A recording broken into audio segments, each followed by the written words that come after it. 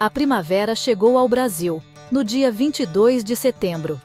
Esta estação vibrante traz uma mudança nos padrões climáticos em todo o país. As temperaturas permanecem mais altas do que a média, na maioria das regiões, entre setembro e novembro. A transição para a primavera significa renovação na natureza. As flores desabrocham, as árvores recuperam suas folhas, e a paisagem se transforma em uma vibrante tapeçaria de cores. Essa mudança sazonal traz uma sensação de otimismo e entusiasmo. Espera-se que as temperaturas subam acima da média em grande parte do Brasil durante esta primavera. Essa tendência de aquecimento será particularmente perceptível entre setembro e novembro. Embora essas temperaturas mais altas sejam típicas da primavera, elas também podem levar a ondas de calor, especialmente em certas regiões. É importante manter-se hidratado e tomar precauções para evitar doenças relacionadas ao calor. Apesar da tendência geral de aquecimento, alguns períodos de clima mais ameno ainda são esperados, dentro da faixa normal de flutuação. Esses períodos mais frios proporcionarão alívio temporário do calor. No entanto, a possibilidade de episódios de calor intenso não pode ser descartada. Esses eventos climáticos extremos estão se tornando cada vez mais frequentes no Brasil e exigem vigilância e preparação. A previsão é de tempo seco até meados de novembro, principalmente nas regiões norte e nordeste do Brasil. Estados como Maranhão e Piauí devem ser particularmente afetados, com chuvas abaixo dos níveis normais. Também se espera que as condições de seca continuem no sul, especificamente no Paraná e em Santa Catarina. Essa seca prolongada pode impactar a agricultura e aumentar o risco de incêndios florestais. A região centro-oeste também terá chuvas abaixo da média, com exceção de algumas áreas isoladas. Isso pode levar à escassez de água e a desafios para as atividades agrícolas. A parte central do Brasil, incluindo Goiás, Mato Grosso, Tocantins e as áreas do interior de Minas Gerais e do Nordeste, não deve receber chuvas significativas até o final de outubro ou início de novembro. Até lá, essas regiões provavelmente enfrentarão baixa umidade e altas temperaturas.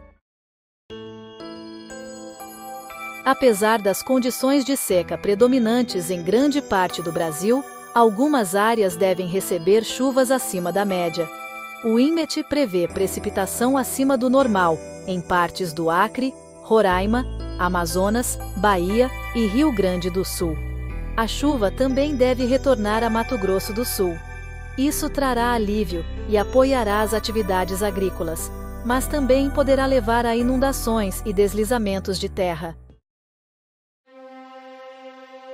Seção 5 Calor do verão amazônico. Em certas regiões do norte, o chamado verão amazônico deve se estender até novembro, prolongando o período de calor extremo. Esse fenômeno é caracterizado por dias mais longos, aumento da radiação solar e diminuição da umidade, resultando em temperaturas elevadas. Cidades no Amazonas, Pará e Acre podem experimentar temperaturas acima da média ao longo da primavera o calor extremo pode representar riscos à saúde, principalmente para populações vulneráveis, como crianças e idosos. É crucial manter-se hidratado, evitar exposição prolongada ao sol e procurar locais frescos durante períodos de calor intenso. O verão amazônico é um fenômeno climático típico da região esse período prolongado de altas temperaturas pode ter um impacto significativo no meio ambiente e na saúde humana. É importante estar preparado e tomar as precauções necessárias. Seção 6 Influência do Laninha A primavera pode ser influenciada pelo fenômeno Laninha, que deve se estabelecer nos próximos meses, e atrasar a chegada das chuvas. O Laninha, caracterizado pelo resfriamento das águas do Oceano Pacífico, pode impactar significativamente os padrões climáticos globais, Os especialistas preveem dois cenários possíveis: um, laninha fraco e de curta duração, ou um, mais intenso, com águas mais frias que o normal. A intensidade do laninha determinará seu impacto sobre as chuvas e as temperaturas. Outras variáveis climáticas de curto e médio prazo também podem influenciar as condições meteorológicas. A previsão do tempo precisa depende da interação complexa desses vários fatores. A influência potencial do Laninha destaca a importância de monitorar as condições climáticas e se preparar para os impactos potenciais na agricultura, nos recursos hídricos e em outros setores. Seção 7 Níveis de reservatórios e energia. Com o atraso das chuvas causado pelo Laninha, a recuperação dos níveis dos reservatórios deve demorar mais. Bacias hidrográficas importantes, como a do rio Paranapanema, sofreram com a seca prolongada. A recuperação dos níveis dos reservatórios é crucial para a geração de energia e o abastecimento de água. Atrasos nessa recuperação podem levar ao aumento dos custos de energia e à implementação de medidas de racionamento de água.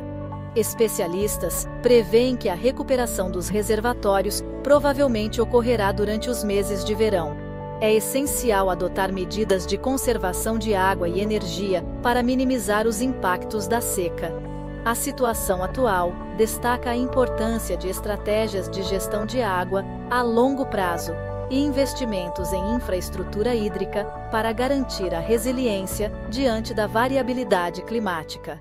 Em São Paulo, a primeira semana da primavera deve ser quente, com temperaturas chegando a 35 graus Celsius. Uma frente fria deve trazer chuvas moderadas no próximo final de semana. Outubro terá temperaturas ligeiramente acima da média, com possibilidade de chuvas moderadas.